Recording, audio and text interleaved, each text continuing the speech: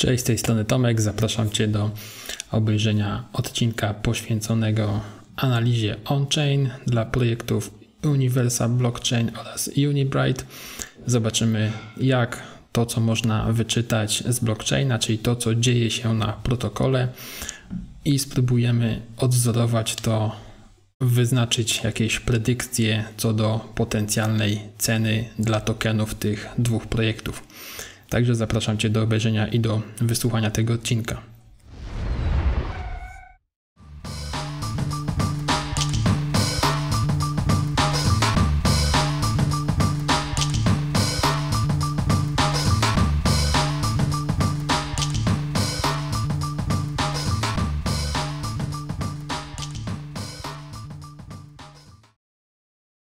Ciekawą sprawą co do dwóch projektów, zarówno do Universy, jak i do Unibright, jest to, że pomimo e, dużego hypu, dużego zainteresowania projektami DeFi, projekty te jakoś e, znacząco nie zmigrowały, nie spivotowały się do e, właśnie DeFi'a, tylko nadal pozostają wierne tym konceptom i tym założeniom, które miały od samego początku.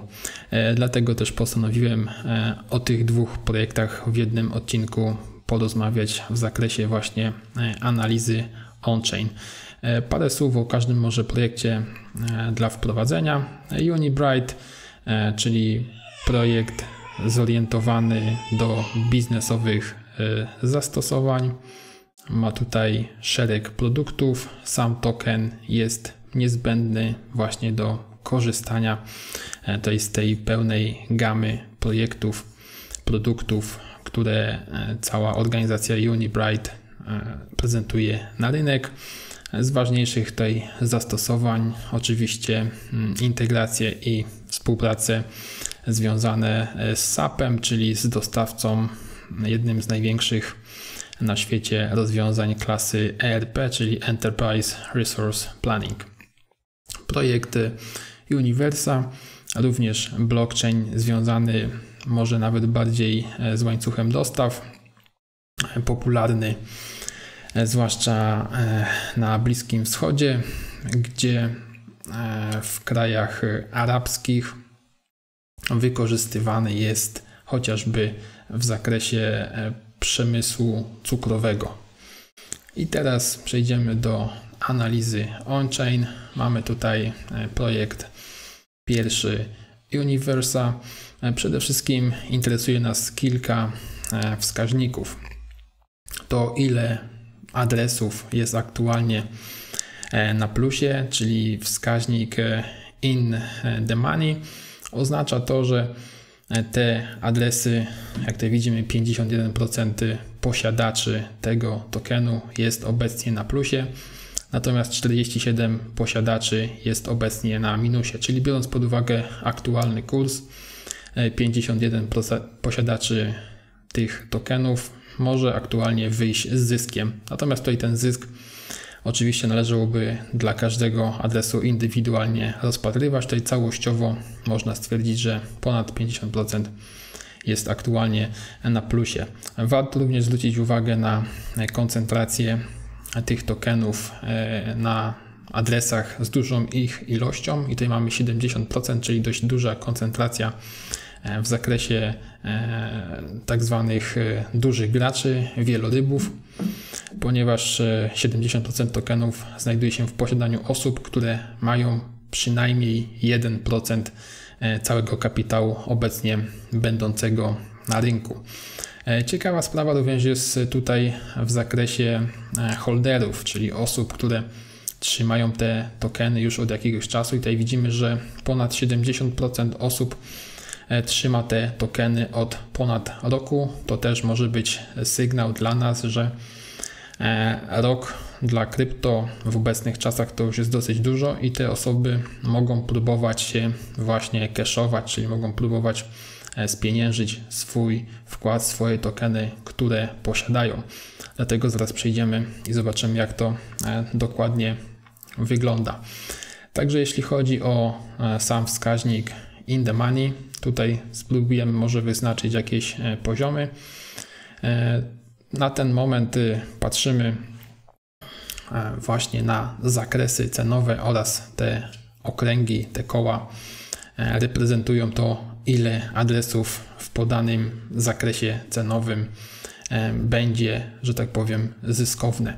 Także tutaj według mnie ten poziom pomiędzy 0,02 a 0,0 0027 a 0031 e, części dolara może w pewnym stopniu e, stanowić tak zwany e, sufit na ten moment.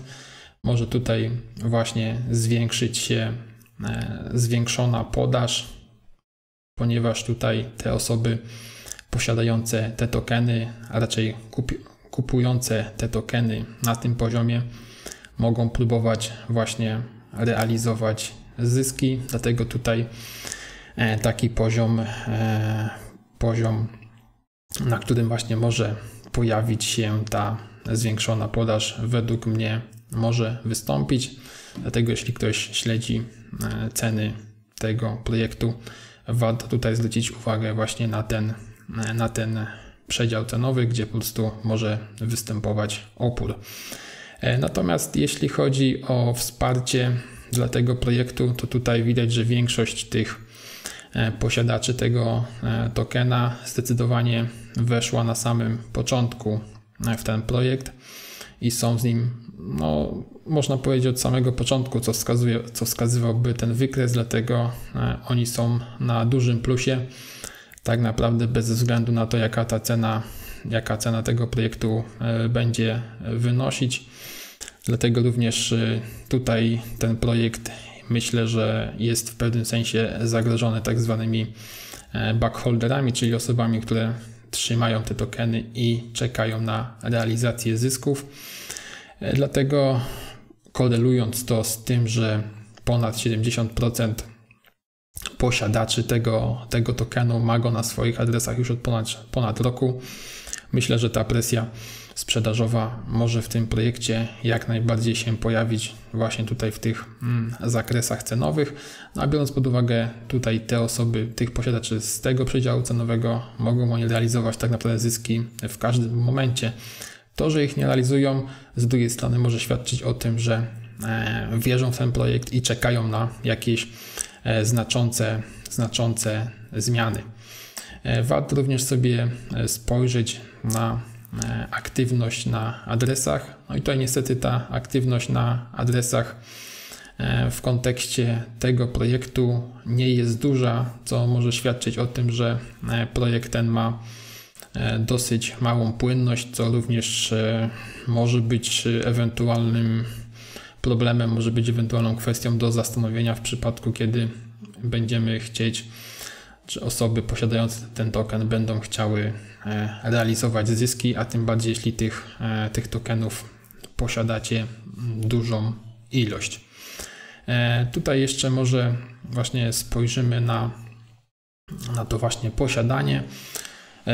Po lewej stronie te zielone koła prezentują właśnie tak zwanych wielorybów, czyli osoby, które na swoich adresach posiadają przynajmniej 1% obecnie będącego na rynku, obecnie będącej na rynku całej ilości wszystkich tokenów. Także tutaj ta koncentracja e, właśnie w ten sposób wygląda. E, takich osób jest ponad, takich adresów w zasadzie jest ponad 40%. Do tego też tutaj są liczone jako inwestorzy tacy długoterminowi, adresy posiadające ilość właśnie pomiędzy 0,1% a 1% to są te niebieskie, niebieskie koła, stąd ta wartość tam pokazana wcześniej, e, określająca ile tych e, tak zwanych wielorybów dla tym, w tym projekcie występuje i tutaj można tą liczbę oszacować na 101. E, warto również tutaj się zainteresować social hypem, czyli to w jaki sposób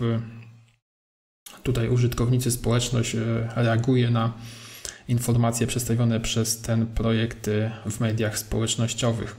Tutaj zastanawiające, a nawet może trochę bardziej niepokojące jest e, spadek liczby użytkowników na Telegramie, co może sugerować zmniejszenie zainteresowania tym projektem.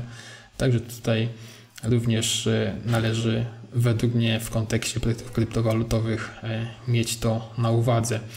Ta aktywność telegramowa jest również na tyle niska, że nawet tutaj system nie był w stanie oszacować sentymentu, czyli to, czy wiadomości pisane na Telegramie są, mają kontekst taki pozytywny, czy negatywny.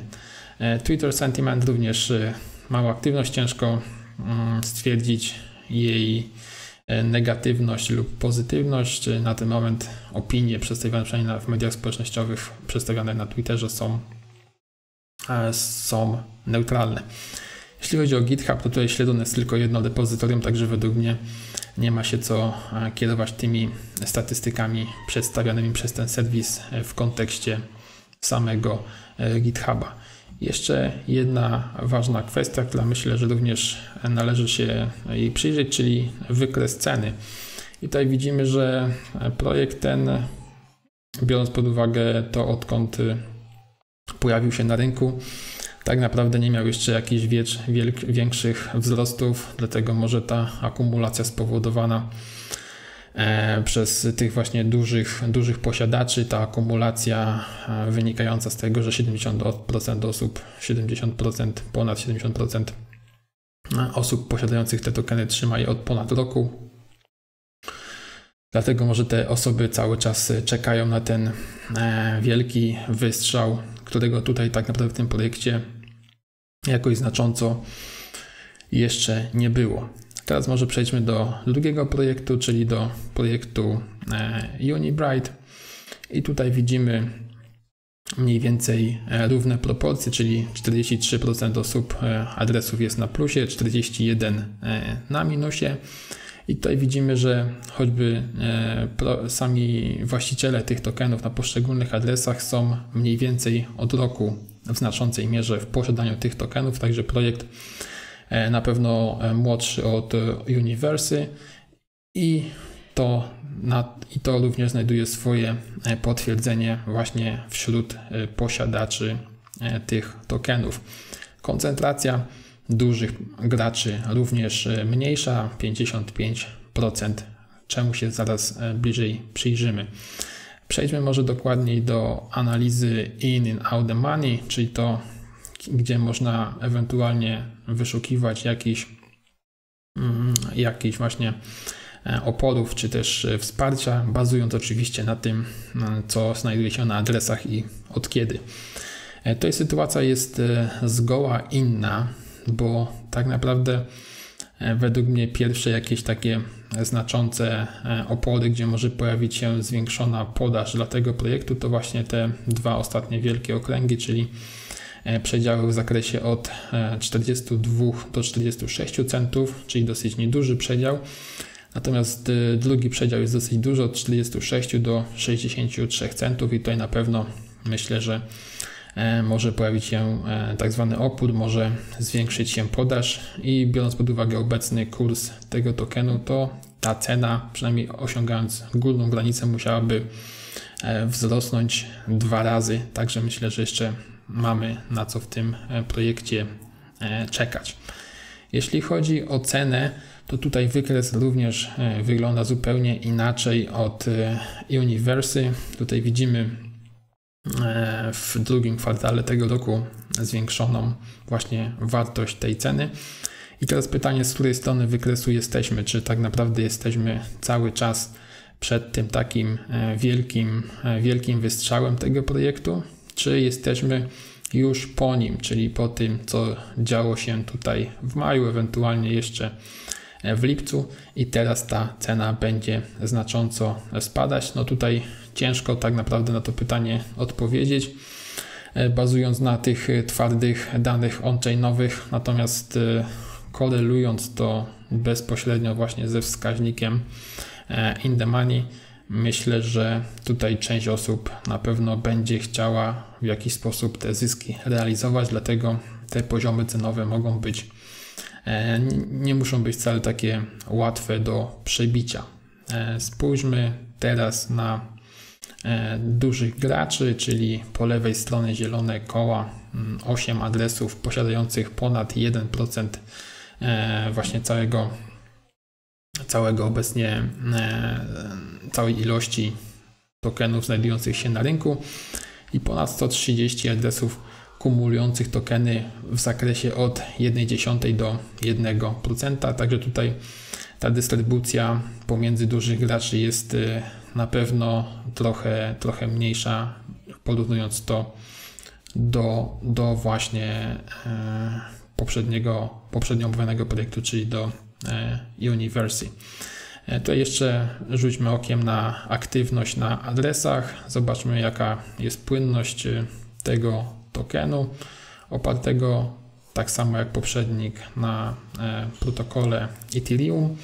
Tutaj ta aktywność widać, że jest znacznie, no może nie znacznie, ale przynajmniej jakaś jest, co w porównaniu do Uniwersy tam tej aktywności za bardzo nie było.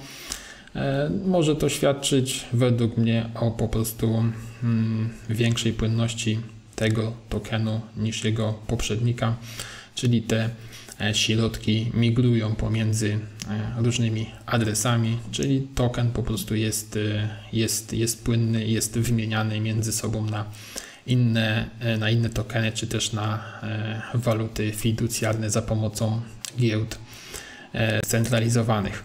I oczywiście jeszcze krótki rzut oka na media społecznościowe. Zobaczymy, co tam w social hype. E, I tutaj sytuacja też inna niż e, w projekcie Universa. Tutaj widzimy, że ta aktywność na Telegramie jak najbardziej jest.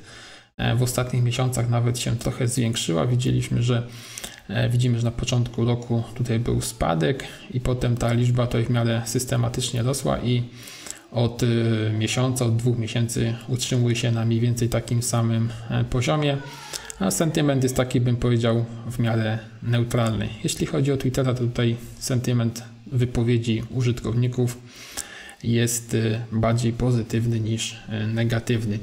E, Unibright nie jest projektem open source'owym, także tutaj wszelkie statystyki nie są dostępne. Według mnie jest to duży minus tego projektu, ponieważ tak naprawdę ciężko jest zweryfikować, co w nim się dzieje i jesteśmy jedynie e, skazani na to, możemy polegać na tym, co e, przedstawiciele osoby odpowiedzialne za ten projekt nam o nim powiedzą. Także to wszystko, jeśli chodzi o tą analizę on-chain.